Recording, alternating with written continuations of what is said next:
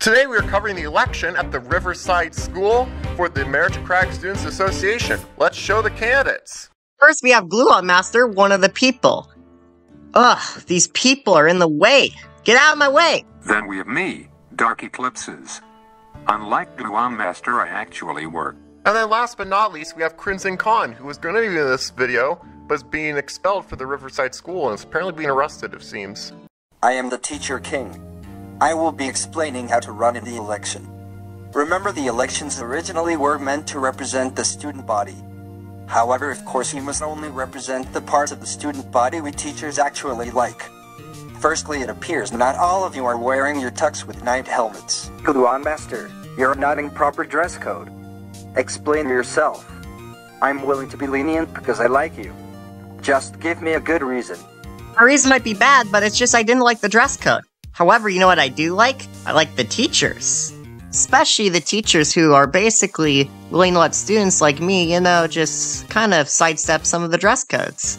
Understandable. You may remain at our meeting. Dark Eclipses, you're not in proper dress code.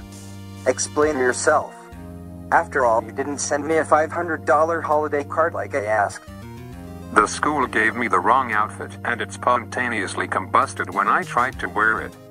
I tried to get a new outfit, but the school wouldn't return any of my calls, and the secretary office is still processing my request.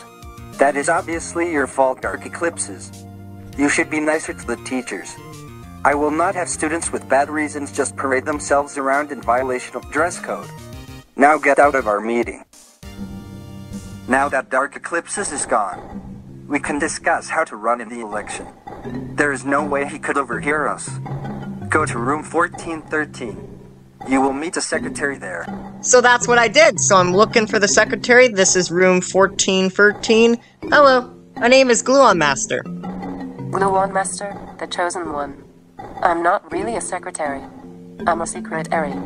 I keep secrets. If you want to run in the election, go to the pool. The king of teachers is waiting. So that's why I went down over to the pool. I've been waiting an hour for you. Here is the paperwork you need to run. I've hired the secretary to be your campaign manager. We teachers hope that you are the chosen one told in the ancient prophecies. You shall be the student that finally realized the dream of student representatives listening to teachers instead of their foolish classmates. I'm your new campaign manager. The teachers hired me to help you win. I've scheduled a speech for you to give to the parents. You'll be going to the bar. It's where parents gather to drink away the stress of raising kids. The idea is that the parents can ground the kids who don't vote for you. However, make sure you don't mention that you are in favor of prohibition. So everyone, at the bar here today, I was thinking, you know, prohibition might be a good idea. Wow, no hitting the candidate. Ow, get get your hands off me. Ow, no, get ah.